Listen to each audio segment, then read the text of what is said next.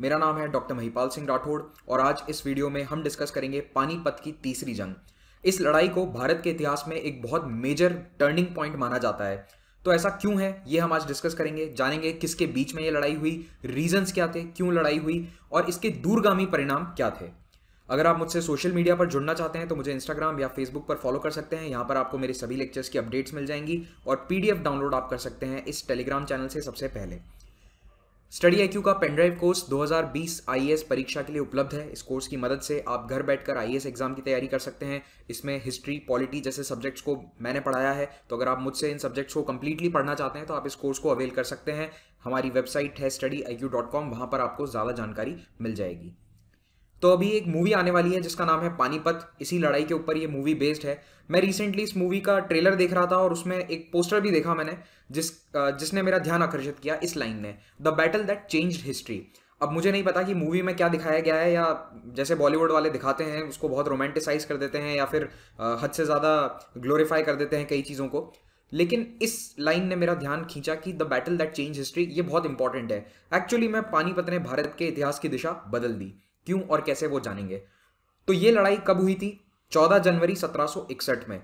इसे तीसरी पानीपत की जंग क्यों कहा जाता है? क्योंकि पहले ही दो बैटल ऑफ़ पानीपत हो चुकी थी। ठीक है, दोनों पर वीडियोस बनाए हुए हैं स्टडी आई चैनल पर उपलब्ध हैं। तो ये पानीपत की जो जंग है, उसी मैदान पर होने वाली तीसरी लड़ाई है मध्यकालीन भारत में। तो इसीलिए इसे थर्ड बैटल ऑफ़ पानीपत कहा जाता है। पानीपत एक कस्बा है, दिल्ली से लगभग 100 किलोमीटर उत्तर में। तो ये लड़ाई हुई थी मेनली मराठा एम्पायर और दूसरी तरफ़ अफगान किंग अहमद शाह अब्दाली के बीच में। अब्दाली को कुछ अन्य लोग भी सपोर्ट कर रहे थे, उत्तर भारत के कुछ और किंगडम्स थे जो सपोर्ट कर रहे थे but mainly it was between Marathas and Ahmad Shah Abdali. तो ये लड़ाई 18वीं सदी की सबसे बड़ी लड़ाई मानी जाती है। इनफैक्ट वर्ल्ड वॉर जब तक नहीं हुए थे, तब तक ये दुनिया की सबसे बड़ी बैटल थी जिसमें इतने हज़ारों लोग मारे गए हों एक ही दिन में। आज भी इस लड़ाई को हिस्टोरियंस वॉर हिस्टोरियंस मानते हैं कि एक दिन में, एक सिंगल डे में लड़ाई में जितने लोग मारे गए थे इसमें, उतने किसी और लड़ाई में नहीं मारे गए हैं। तो ये काफ़ी बड़े स्केल की बैटल थी और इसके बहुत ही दूरगामी परिणाम भी थे। तो पानीपत की इस जंग में एक तरफ़ था मराठा पावर और मराठा पावर को लीड करते थे पेशवास। मराठास के डी फैक्टो रूलर्स यानी पूरी तरह से उन्हें रूल करने वाले एक्चुअल में रूल करने वाले थे पेशवास। हालाँकि नाम के लिए छत्रपति होते थे राजा टाइटुलर हेड थे वो, जैसे आज प्रेसिडेंट होते हैं, लेकिन एक्चुअल पावर भारत में सारी किसके पास होती है? प्राइम मिनिस्टर के पास। कुछ उसी तरह का सेटअप आप समझ लीजिए। तो पेशवास के पास कंप्लीटली पावर आ जाती है हाथ में सत्रह से और बालाजी विश्वनाथ और उनके बाद बाजीराव फ़र्स्ट मराठा पावर को अपने चरम पर पहुँचा देते हैं। स्पेशली बाजीराव फ़र्स्ट इन्होंने अपने 20 साल के कार्यकाल में कई लड़ाइयाँ लड़ी और मराठा पावर को महाराष्ट्र के केवल इस एरिया से एक्सपांड करते हुए लगभग पूरे उत्तर और केंद्रीय भारत में स्थापित कर दिया। बाजीराव के बाद उनके बेटे बालाजी बाजीराव बनते हैं पेशवा। बालाजी बाजीराव ने मुगल्स के साथ एक एग्रीमेंट कर लिया। बाजीराव ने कहा कि हमें आप दे दीजिए सारे नॉर्दर्न प्रोविंसेस का टैक्स यानी चौथ हम कलेक्ट करेंगे, आगरा और अन्य सभी नॉर्दर्न एरिया से जो मुगल एम्पायर के अधीन है, बदले में हम मुगल एम्पायर को प्रोटेक्ट करेंगे, अफ़गानिस्तान से आने वाले अटैकर्स या अन्य कोई भी एक्सटर्नल थ्रेट से। अहमद शाह अब्दाली कौन था? अहमद शाह दुर्रानी भी इन्हें कहा जाता है। ये व्यक्ति एक आम सोल्जर था, नादिर शाह ऑफ़ पर्शिया की आर्मी में एक आम सैनिक से इस व्यक्ति ने अपना करियर शुरू किया और धीरे धीरे अपने आप को इतना पावरफुल बनाया कि नादिर शाह की मृत्यु के बाद अफ़गानिस्तान में खुद का एक अलग राज्य बना लिया और अपने आप को राजा घोषित कर दिया। तो he was the Shah of Afghanistan और आज भी इन्हें अफ़गानिस्तान का फाउंडर माना जाता है founder of the modern state of Afghanistan. क्योंकि आज जो आप अफ़गानिस्तान का बॉर्डर देखते हो वो मोर और लेस अहमद शाह अब्दाली का ही किंगडम है। उसके पहले अफ़गानिस्तान या तो पर्शिया के अधीन रहा था या फिर मुगल एम्पायर के अधीन रहा था या दोनों के बीच में बटा हुआ रहता था कई हज़ार सालों तक कई सौ सालों तक। लेकिन अहमद शाह अब्दाली वो पहला व्यक्ति था जिसने मॉडर्न डे अफ़गानिस्तान की जो बाउंड्री है उससे मिलता जुलता अपना किंगडम एस्टैब्लिश किया था। और आज भी इनकी जो मज़ार है it is one of the most visited places in Afghanistan. Kandahar में इन, इनकी मज़ार है अहमद शाह बाबा इन्हें कहा कहते हैं लोग प्यार से वहाँ पर। तो 1748 और 1767 इन 20 सालों में अहमद शाह अब्दाली ने भारत पर या उत्तर भारत पर स्पेशली पंजाब रीजन पर आठ बार हमला किया। इन्हीं में से जो फिफ्थ वाला हमला था, उसमें हुई थी बैटल ऑफ़ पानीपत तीसरी पानीपत की जंग। इस मैप में आप दुर्रानी एम्पायर को देख सकते हैं तो इंडस नदी के उत्तर में, और आज का जो अफ़गानिस्तान का एरिया है, वो पूरा दुर्रानी एम्पायर के अधीन था, और यहाँ पर आपको जो पीच कलर में नज़र आएगा, ये है मराठा एम्पायर। अब यहाँ पर मुगल्स आपको नज़र नहीं आएँगे, क्योंकि मुगल्स का पावर खत्म हो चुका था। मुगल्स केवल नाम में शासक थे एक्चुअल पावर सारी मराठास के पास थी टैक्स कलेक्शन की सिक्योरिटी की। तो यहाँ पर राइट अप टिल इंडस नदी, मराठा पावर देखने को मिला था एटॉक के किले से शुरू होकर यहाँ दक्षिण में ऑलमोस्ट तमिलनाडु तक मराठा ध्वज फहराता था 1760 में। और एक और इंपॉर्टेंट प्लेयर जो आपको पता होना चाहिए इस लड़ाई में वो है अवध किंगडम ऑफ़ अवध। यहाँ पर आपको देखने को मिलेगा, नवाब है शुजाउद्दौला और लास्ट है रोहिल्लास। तो ये वाला इलाका जो है, आज जो पश्चिमी उत्तर प्रदेश है, मुरादाबाद, बरेली देहरादून के पास वाला एरिया वो सभी रोहिलखंड कहलाता है। और रोहिल्ला कौन थे? रोहिल्ला अफगान थे एथनिकली देवर अफगान्स जो मुगल शासन के दौरान या फिर सल्तनत पीरियड के दौरान अफ़गानिस्तान से धीरे धीरे आकर यहाँ पर बसना शुरू हो गए थे और आर्मी में जॉब करते थे, काफ़ी इंपॉर्टेंट पोजिशन भी थे। तो रोहिल्लास भी इस लड़ाई में एक इंपॉर्टेंट पावर है रोहिल्लास और उनका लीडर नजीब उद्दौला। तो रोहिल्ला चीफ नजीब उद्दौला जो है, इन्होंने अल्टीमेटली पानीपत की लड़ाई में किसका साथ दिया था? अहमद शाह अब्दाली का। तो 1757 में अब्दाली अपने चौथे कैंपेन पर आया, दिल्ली को फिर से लूटा गया और पंजाब और कश्मीर को कैप्चर कर लिया गया और अपने बेटे तिमूर शाह दुर्रानी को लाहौर में छोड़कर वो चला गया फिर से अफ़गानिस्तान। लेकिन तिमूर शाह के खिलाफ मराठास ने अपनी आर्मी भेजी और दिल्ली फिर से जीत ली गई। सत्रह में मराठास ने दिल्ली को कैप्चर करके फिर फिर से मुगल्स को दे दिया। रोहिल्लास को भी हराया गया क्योंकि रोहिल्लास ने साइड चेंज कर ली थी इस समय तक और मुगल्स की जगह वो अब्दाली का साथ दे रहे थे। और 58 और 59 में 1758 59 में मराठा पावर अफ़गानिस्तान बॉर्डर तक पहुँच चुका था, फिर से। अब दिसंबर 1759 में अब्दाली डिसाइड करता है कि मैं फिर से अटैक करूँगा क्योंकि उसका बेटा जो है तिमूर शाह दिरवानी, वो लाहौर छोड़ के उसे भागना पड़ा था तो वो इससे नाराज़ हो गया, उसने कहा फिर से हमें पंजाब रिकैप्चर करना पड़ेगा। तो दिसंबर 59 में दुर्रानी अपनी आर्मीज लेकर अफ़गानिस्तान से खैबर पास से होते हुए फिर से पंजाब आता है और ये पांचवा अटैक है। जब अब्दाली के पंजाब में आने की खबर पहुँचती है पूना, यानी पेशवा के पास तो पेशवा नाना साहेब, ये दूसरा नाम था बालाजी बाजीराव का, नाना साहेब अपने कजिन यानी चचेरे भाई सदाशिव राव को ये ज़िम्मेदारी देते हैं कि आप मराठा कैंपेन को लीड करिए आर्मी को लीड करिए। और अपने खुद के 20 साल के बेटे विश्वास राव को भी इस कैंपेन पे भेजा जाता है, क्योंकि विश्वास राव अगर अगले पेशवा बनते हैं तो उन्हें आर्मी का बैटल का एक्सपीरियंस होना ज़रूरी है। सदाशिव राव भाव कौन थे? सदाशिव राव भाव जो हैं, वो चीमाजी अप्पा के बेटे थे। Chimaji Appa is the brother of Bajirao Peshwa. कुल मिलाकर इतना ध्यान रखिए कि ये पिछले पेशवा बाजीराव के भतीजे थे और इन्हें बताया, बनाया गया आर्मी कमांडर तो ये पेशवा फैमिली का फैमिली ट्री है। यहाँ पर आप देख सकते हैं, बालाजी बाजीराव, नाना साहेब और उनके कज़न सदाशिव राव भाऊ यहाँ पर कुछ पॉलिटिक्स ऐसी चली थी कि रघुनाथ राव, जो सबसे ज़्यादा एक्सपीरियंस थे पेशवा के खुद के सगे भाई, उन्हें क्यों नहीं भेजा गया, जबकि ये ज़्यादा एक्सपीरियंस थे और इन्होंने ही 58 59 में नॉर्थ वेस्ट जो एरियाज़ हैं, वो मराठास के लिए जीते थे। तो इन्हें उस नॉर्दर्न टेरिटरी का एक्सपीरियंस भी था, जबकि सदाशिव राव भाऊ को कभी नॉर्थ में नहीं भेजा गया था। इन्होंने मोस्टली अपनी लड़ाइयाँ सदर्न एरियाज़ में ही लड़ी थी, या तो मैसूर के खिलाफ या फिर डेक्कन में निज़ाम के खिलाफ। तो रघुनाथ राव ने मना कर दिया था कि मैं लीड नहीं करूँगा due to some internal politics तो यहाँ पर यह भी एक बड़ा रीजन माना जाता है कि जो मोर एक्सपीरियंस्ड आर्मी लीडरशिप थी जनरलशिप थी, वो इस लड़ाई में गई नहीं। जबकि सदाशिव राव भी एक्सपीरियंस थे but he was still relatively young तीस साल की उम्र थी और दस दस बारह साल का लड़ाई का एक्सपीरियंस डेफिनेटली था बट रघुनाथ राव की तरह उन्हें नॉर्दर्न एरियाज़ का एक्सपीरियंस नहीं था। और ऐसा माना जाता है कि रघुनाथ राव पॉलिटिकली ज़्यादा समझदार थे डिप्लोमे डिप्लोमेसी में ज़्यादा अच्छे थे, जबकि सदाशिव राव भाऊ डिप्लोमेसी में इतने अच्छे नहीं थे। इन्होंने किसी को साथ लेने से मना कर दिया डिप्लोमेसी में ही वॉज़ वेरी पुअर तो मराठा आर्मीज निकलती हैं महाराष्ट्र से, पूना से और नॉर्थ जाती है, जहाँ पर they are joined by other Maratha armies from Baroda Gaekwads, Indore Holkars Gwalior, Scindias और पहुँचती है दिल्ली। लगभग 1600 किलोमीटर दूर मराठास अपनी यूजुअल टेरिटरी से बाहर है। मराठास ने पिछले 100 सालों में सारी लड़ाइयाँ अपनी मोस्टली डेक्कन या फिर सेंट्रल इंडिया में लड़ी है, जो जंगल वाला, पहाड़ी वाला एरिया है। मैदानी लड़ाइयाँ इतने लार्ज स्केल पर मराठास ने अभी तक नहीं लड़ी। आर्मी की संख्या थी लगभग एक लाख के आसपास। एक लाख रेगुलर आर्मी थी, लेकिन इस आर्मी के साथ लाखों की संख्या में सिविलियंस भी थे। सिविलियंस क्यों आ गए?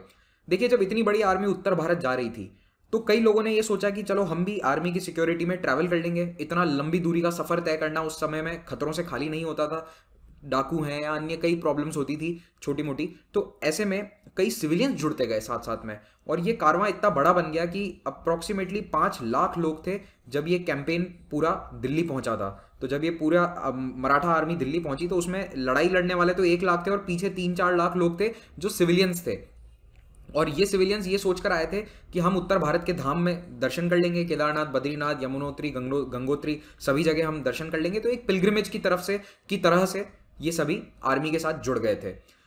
अब ये इन्होंने कभी नहीं सोचा था कि आर्मी हार सकती है, क्योंकि एक पूरी जनरेशन ने पिछले 30-40 साल में कभी हार का मुँह ही नहीं देखा था। मराठा आर्मी कंटिन्यूसली 30 साल से जीते जा रही थी तो पूरी जनरेशन ने कभी हार देखी नहीं थी डिफीट ही नहीं देखी थी। तो ये बिल्कुल कॉन्फिडेंट थे कि हम तो जीत ही जाएँगे, चाहे सामने कोई भी हो। तो ये आर्मी लगभग एक लाख की रेगुलर आर्मी थी और इसने आकर दिल्ली को फिर से अफगान रूलर्स के हाथ से अपने हाथ में ले लिया। एक अफगान गैरिसन था, अब्दाली खुद नहीं था बट एक अफगान गैरिसन था जो दिल्ली को कंट्रोल कर रहा था, उसे हरा दिया गया आराम से। अब हम मैप की मदद से इसे समझते हैं। देखिए, भारत का ये नक्शा है और यहाँ पर महाराष्ट्र से, पूना से निकली थी मराठा आर्मीज और पूरा भारत क्रॉस करके लगभग 1600 किलोमीटर दूर पहुँचती हैं दिल्ली तक। अब यहाँ पर क्या होता है ना कि ये यमुना नदी बह रही है। तो अब्दाली की आर्मी थी यमुना नदी के इस तरफ़। ये वाला साइड हो जाएगा कौन सा साइड ईस्टर्न पूर्वी तरफ़। और मराठा आर्मीज जो है, वो थी पश्चिमी तरफ़ यमुना नदी के। तो मराठा सब दिल्ली को कैप्चर कर चुके थे तो उन्हें पानीपत जाने की क्या ज़रूरत आ पड़ी? देखिए, दिल्ली को ऑलरेडी अफगान्स ने लूटा हुआ था, खजाने में कुछ नहीं बचा था। मराठास को सप्लाईज चाहिए थी, पैसा चाहिए था आर्मी कैंपेन को आगे बढ़ाने के लिए। और पाँच लाख लोग हैं, इनके खाने पीने की व्यवस्था करना भी अपने आप में एक बहुत बड़ा टास्क होता है। तो सदाशिव राव ने यह सोचा कि मैं अपनी आर्मी को थोड़ा नॉर्थ ले जाता हूँ, पानीपत की तरफ़। तो वो दिल्ली से निकल गए अपनी आर्मी को लेकर पानीपत और सदाशिव राव ने आर्मी को यहाँ पर डेरा डालने के लिए कहा, क्योंकि सदाशिव ने यह सोचा कि अगर अब्दाली लौटने की कोशिश करेगा तो मैं यहाँ से उसे ब्लॉक कर दूँगा, मराठा आर्मी यहाँ पर उसे ब्लॉक कर देगी। अब्दाली इस बीच कहाँ था? अब्दाली था इस तरफ़। अब्दाली कहाँ था? यमुना के पश्चिमी तरफ़, वेस्टर्न साइड पर था। और उस वक्त मानसून का सीज़न था, अगस्त, सितंबर में नदी में काफ़ी बाढ़ आई हुई थी, पानी काफ़ी उफान पर था, इसलिए नदी को क्रॉस करना इम्पॉसिबल था। इस बीच अब्दाली ने क्या किया? बहुत ही अच्छी डिप्लोमेसी बताते हुए, दिखाते हुए, अवध को अपनी साइड कर लिया। अब ये अब्दाली का एक बहुत अच्छा हुनर था कि he was a good diplomat वो किसी के भी साथ दोस्ती या दुश्मनी कर सकता था। इसका जीता जागता प्रमाण ये था कि पिछली बार जब उसने अटैक किया था तो अवध के साथ लड़ाई लड़ी थी। लेकिन जब इस बार आया तो अवध को अपना दोस्त बना लिया। शुजा उद्दौला को यह बताया कि मराठास आपके लिए भी थ्रेट है, हमारे लिए भी थ्रेट है तो क्यों ना इनको मिलकर हराएँ। और इस दोस्ती को बनाने में बहुत बड़ा रोल था नजीबुद्दौला का। नजीबुद्दौला रोहिल्लास का एक आर्मी चीफ था, जो मुगल आर्मी में एक बहुत बड़ा जनरल था, लेकिन ही हैड स्विच्ड सत्रह सौ सत्तावन में ही उसने अब्दाली का साथ देना शुरू कर दिया था। जब पिछली बार अब्दाली ने अटैक किया, तभी वो मुगल्स की सर्विस छोड़कर अब्दाली के साथ हो लिया था। तो नजीबुद्दौला ने ये डील ब्रोकर करवाई और अवध के साथ आने से एक बहुत बड़ा मिलिट्री सपोर्ट मिलता है अब्दाली को, क्योंकि अवध के पास काफ़ी संख्या में सैनिक थे, बहुत बड़ी फौज थी। तो अब्दाली प्लस नजीबुद्दौला के रोहिल्ला और शुजाउद्दौला फ्रॉम अवध। इन तीन की कंबाइंड आर्मी अब आ गई थी मराठास के सामने। दूसरी ओर मराठास भी चाहते तो डिप्लोमेसी का सहारा लेते हुए दूसरे पावर्स को अपने साथ ले सकते थे। उत्तर भारत में उस वक्त बड़े बड़े पावर्स थे, पंजाब के सिख, लेकिन इनकी तरफ़ कोई भी हाथ नहीं बढ़ाया गया डिप्लोमेसी का। अगर चाहते तो इन्हें अपने साथ ले लेते। दूसरी तरफ़ जाट राजा सूरजमल, जो दिल्ली के आसपास का एरिया है, आगरा, दिल्ली, बल्लभगढ़ इस एरिया में राजा सूरजमल का बहुत अच्छा कंट्रोल था।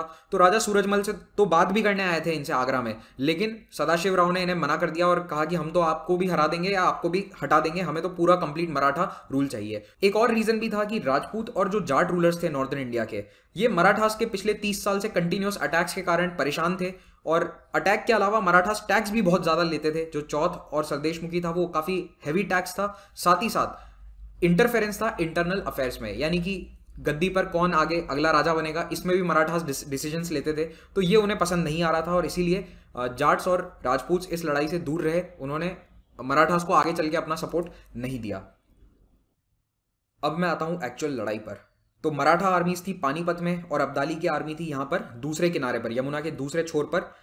तो अब इस नदी को क्रॉस कैसे किया जाए? नदी अपने पूरे उफान पर थी, अब्दाली के पास अब अवध का भी सपोर्ट था, रोहिल्लास का भी सपोर्ट था तो इस इतनी बड़ी आर्मी को अब चैलेंज था कि यमुना क्रॉस करवा के दूसरी साइड कैसे ले जाया जाए टू अटैक तो ऐसा कहते हैं, अब कोई रिटर्न प्रूफ नहीं है, लेकिन ऐसा बताया जाता है स्टोरीज में कि अब्दाली खुद नदी में कूद गया अपने सैनिकों से पहले, क्योंकि सैनिकों ने मना कर दिया कि हम नदी में नहीं जाएँगे क्रॉस नहीं करेंगे, पानी कम होने दो। अब्दाली खुद पहले कूद गया नदी में और फिर उसके पीछे पीछे उसके सैनिक भी कूदे और इस तरह से पूरी आर्मी क्रॉस कर गई नदी को, यमुना को, और उन्होंने पानीपत पे यहाँ साउथ साइड से अटैक करा मराठास के ऊपर। और एक चीज़ उन्होंने करी कि मराठास की जो सप्लाई लाइंस थी, यानी साउथ से उनकी जो सप्लाई आती थी, पैसा या खाना आता था, उसे पूरी तरह कट ऑफ़ कर दिया। क्योंकि अब दिल्ली और पानीपत के बीच में, मराठास के बीच में थी अब्दाली की पूरी आर्मी तो अब मराठा आर्मी पानीपत में घिर चुकी थी। एक तरफ़ थी यमुना नदी, उत्तर की ओर जा नहीं सकते।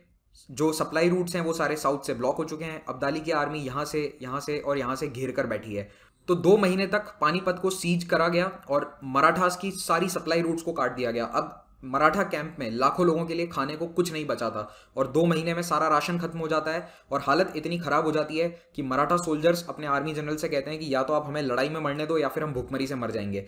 तो ऐसे में चौदह जनवरी मकर संक्रांत का दिन डिसाइड किया जाता है मिलिट्री लीडर्स द्वारा कि आज हम अटैक करेंगे। तो फोर्टीन जनवरी सेवनटीन को मराठा सुबह सुबह जैसे ही सूरज उगता है, एक सरप्राइज़ अटैक करते हैं अब्दाली की आर्मी पर, और अफगान्स ने यह अटैक एंटिसिपेट नहीं किया था, उन्हें नहीं लगा था कि इस तरह का अटैक होगा तो दिन में दो बजे तक मराठास काफ़ी हावी थे। लेकिन अक्सर जैसा लड़ाइयों की कहानी में होता है कि एक ऐसी घटना हुई जिसने लड़ाई का रुख बदल दिया, होता यह है कि विश्वास राव पेशवा का बेटा जो है, वो लड़ाई में, मैदान में अचानक गायब हो जाता है, सदाशिव राव को नज़र नहीं आता है तो सदाशिव राव अपने हाथी से नीचे उतरा, उसे ढूँढने के लिए, और उसे बचाने के लिए तो हाथी खाली नज़र आया तो मराठा सैनिकों को लगा कि सदाशिव राव की डेथ हो गई है तो कैंप में अफरा तफरी बची और मराठास की अल्टीमेटली हार होती है। लेकिन अगर मिलिट्री पॉइंट ऑफ़ व्यू से देखें तो मराठास की जो आर्टिलरी और कैवलरी है, वो कहीं ना कहीं अफगान से कमतर थी, क्योंकि अफगान्स ने काफ़ी इनोवेटिव मेथड्स अपनाए थे। ऊँट, यानी कैमल पर आर्टिलरी गन्स को लादा गया था, जिससे कि वो तुरंत एक जगह से दूसरी जगह तक ले जाई जा सकें। तो मोबाइल आर्टिलरी थी, ये एक बहुत बड़ा प्लस पॉइंट था अफगान आर्मी के लिए। तो पानीपत पर एक डिसाइसिव विक्ट्री होती है, अहमद शाह अब्दाली की आर्मी की, लेकिन दोनों तरफ़ से बहुत ही भारी जान माल का नुकसान हुआ था। इनफैक्ट अब्दाली भी इस लड़ाई के बाद भारत में ज़्यादा समय नहीं रहा, वो कुछ ही महीने में वापस चला गया था, क्योंकि उसके भी तीस हज़ार सैनिक यहाँ पर मारे गए थे। तो लगभग तीस से चालीस हज़ार अफगान्स मारे गए। मराठा सोल्जर्स लगभग forty to fifty thousand in fighting और उसके बाद अगले दो दिन में चालीस से सत्तर हज़ार मराठा को सिविलियंस प्लस सैनिकों को पानीपत शहर के अंदर मारा गया चुन चुनकर जो छुपे हुए थे घरों के अंदर महिलाएँ, बच्चे छुपे हुए थे, उन तक, उनको तक मारा गया। कई महिलाओं ने आत्महत्या भी कर ली और कई कई लोगों को स्लेव बनाकर, गुलाम बनाकर अफ़गानिस्तान भी ले जाया गया। इस तरह की कहानियाँ हैं। कुल मिलाकर एक लाख मराठास उस दिन, एक दिन में चौदह जनवरी को मारे गए during third battle of Panipat. तो मराठा डिफीट के कई कारण हैं। पहला, मराठा फोर्सेस नंबर में कम हो गए थे due to Awadh joining Abdali. Famine condition है। भुखमरी की हालत आ गई थी। फिर जो मराठा पॉलिसी थी, जो उन्होंने पिछले तीस सालों में किसी भी, किसी को भी नहीं छोड़ा था, जितने भी पावर्स हैं, चाहे वो मुगल्स हों, जाट्स हों, राजपूत हों, सबको अटैक करते थे, सबके खिलाफ बराबर टैक्सेस लगाए जाते थे तो कोई भी उनसे इतना खुश नहीं था उत्तर भारत में। फिर मराठा कमांडर्स के बीच में भी कुछ जेलसीज थी, जैसा मैंने आपको बताया, रघुनाथ राव अपनी मेन आर्मी के साथ कहाँ बैठे थे? महाराष्ट्र में। हालाँकि उस आर्मी को रवाना भी किया गया था, लेकिन वो आर्मी पहुँच ही नहीं पाई थी पानीपत तक। वो केवल नर्मदा नदी तक पहुँची थी, जब तक ऑलरेडी पानीपत की जंग हो चुकी थी। अब्दाली की फोर्सेस थोड़ी बेटर ऑर्गेनाइज थी, जो बंदूकें थी, मैंने आपको आर्टिलरी गन्स के बारे में बताया माउंटेड ऑन कैमल्स उन्होंने काफ़ी लड़ाई का रुख बदल दिया। तो अब इस लड़ाई का पॉलिटिकल सिग्निफिकेंस क्या है? देखिए, मराठा सुप्रीमेसी उत्तर भारत में पूरी तरह से डिस्ट्रॉय हो गई। हालाँकि मराठा पावर 1771 तक, यानी 10 साल बाद फिर से पावरफुल हो जाता है, लेकिन एक वो स्थिति नहीं हो पाई जो पानीपत के पहले थी। और अल्टीमेटली इसके कारण मराठा कमज़ोरी का फ़ायदा 1775 में अंग्रेज़ों ने भी उठाया और एंग्लो मराठा वॉर शुरू हो जाता है और तीन एंग्लो मराठा वॉर्स के बाद मराठा पावर पूरी तरह से खत्म हो जाता है 1818 आते आते। पानीपत की जंग में क्योंकि बड़े बड़े आर्मी जनरल्स की डेथ हो गई थी, जैसे सदाशिव राव और विश्वास राव तो उसके कारण जो रघुनाथ राव थे, उनके एम्बिशन बढ़ गए। उन्होंने सोचा, मैं पेशवा बनूँगा। तो उन्हीं के कारण second Anglo I am sorry first Anglo Maratha war शुरू होता है रघुनाथ राव के पेशवा बनने के एम्बिशंस के कारण। लेकिन इस लड़ाई का सबसे बड़ा जो दूरगामी परिणाम है वो ये था कि पूरे भारत में एक पावर वैक्यूम बन गया था, क्योंकि 18वीं सदी में मराठा पावर सबसे इंपॉर्टेंट था और ब्रिटिशर्स उस समय इतने पावरफुल नहीं थे। लेकिन मराठास के हारने के कारण ब्रिटिशर्स को एक सुनहरा अवसर मिल गया अपने एम्पायर को बढ़ाने का।